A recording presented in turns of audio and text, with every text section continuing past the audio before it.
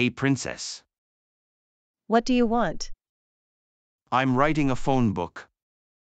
Can I have your number? No. Oh, forget it. You're ugly anyway. Get away, loser. Do you want problems? Get out, or you'll regret it. Chill, I did not mean it. I'm already leaving. Do not mess with me.